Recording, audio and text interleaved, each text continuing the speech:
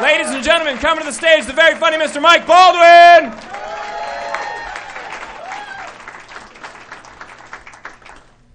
Hey. What's up, everybody? All right. We'll see how it goes, I guess. I'm on TV.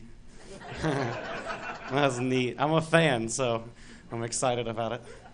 I watch TV a lot. That's that's the thing that I do. I saw a commercial on TV for Pizza Hut, and they were advertising the new extra large pizza, which is twice as big as a medium and delicious, obviously. But there was a disclaimer at the bottom, and it says, "If you want this product, you must ask for it when ordering." yeah. Like, who's the idiot that calls Pizza Hut and goes, "Send me pizza"? what kind? My favorite. I'll just wait here. Bye. No, wait. I don't know if you know what Vonage is. Vonage is the phone company. And on the Vonage commercial, there's a disclaimer at the bottom, and it says that Vonage 911 is different than regular 911. And I don't know what that means. Like, what could it mean? You know, you're in an emergency, you call 911, some guy's like, hello? Who are you? Or if it was all automated, if you're on fire, press one. If you got shot, press two. I'm freaking out. Like, I'm getting attacked by dingoes. What are the odds that's coming up in the next couple numbers? Come on. On the Match.com commercial, they say that if you don't find true love within six months, then they'll give you six months for free. But that's dumb because, like, if it doesn't work in six months, then it's something that probably doesn't work. That's like, hey, eat this rotten pumpkin. If you don't love it, you can have a hundred of them.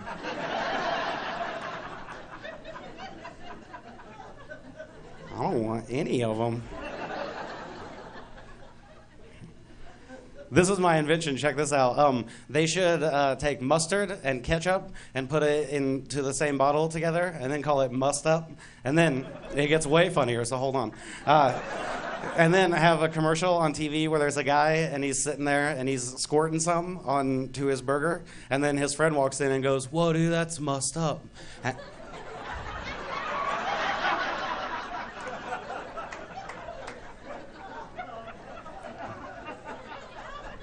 Then he would hold up the bottle and go, Yup.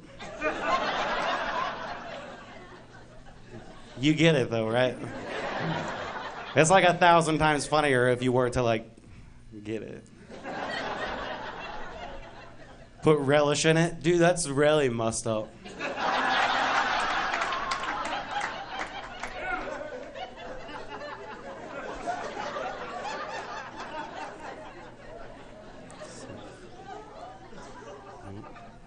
Um, I have sisters. Um, I don't have any brothers or anything. I have two older sisters, so I have like the girly influence on me. I'm kind of a wuss. Like I can braid hair and stuff. Like, not my hair. I'm just saying. If you if you wanted your hair braided, I could do that. That's all I'm saying. I can play hopscotch. I know the rules. I'm like, you can't do that. You can't do that. My friends are like, why are we playing hopscotch? I'm like, well, we're not. If you're gonna play like that.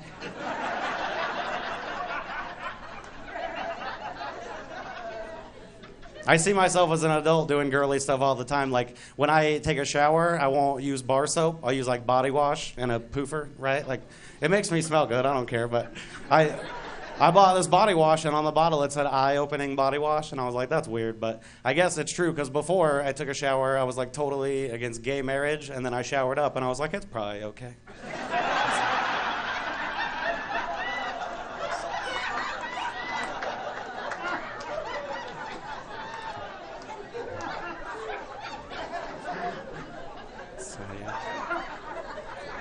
All right, laugh later. I only have five minutes.